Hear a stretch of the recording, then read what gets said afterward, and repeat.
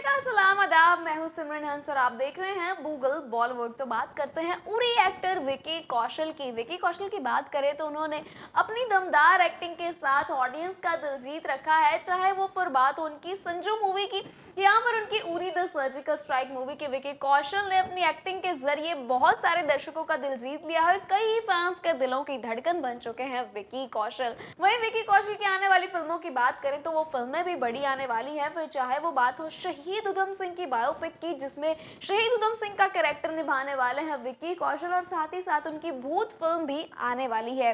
वही अगर हम विक्की कौशल की बात करें तो रिसेंटली वो एक इवेंट में पहुँचे थे जहाँ उन्होंने मीडिया के साथ इंटरेक्शन की, जिसके चलते विक्की कौशल ने बॉलीवुड के बिग बी यानी अमिताभ बच्चन को कॉन्ग्रेचुलेट किया है दादा साहेब फाल्के अवार्ड के लिए उनका नाम सेलेक्ट होने पर।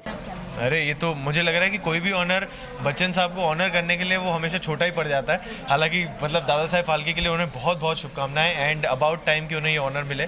So we very happy I think इस देश के सारे राइटर्स डायरेक्टर्स एक्टर्स आज के ज़माने के एक्टर्स सबको एक एक हार्टफेल थैंक यू बोलना चाहिए उन्हें for inspiring all of us with with the kind of work he is done and he is a hero to all of us Kaushal ने गली बॉय के ऑस्कर में नॉमिनेट होने पर भी कॉन्ग्रेचुलेशन किया और अपनी बेस्ट विशेस भी दी हैं उनकी टीम को। तो आइए हम भी देखते हैं उनका ये वीडियो deserving, very deserving इस साल की I think one of the favourite films of mine and very good story lovely performances and I really hope and pray that they get that trophy and India की एक team वहाँ पे stage पे खड़ी हो।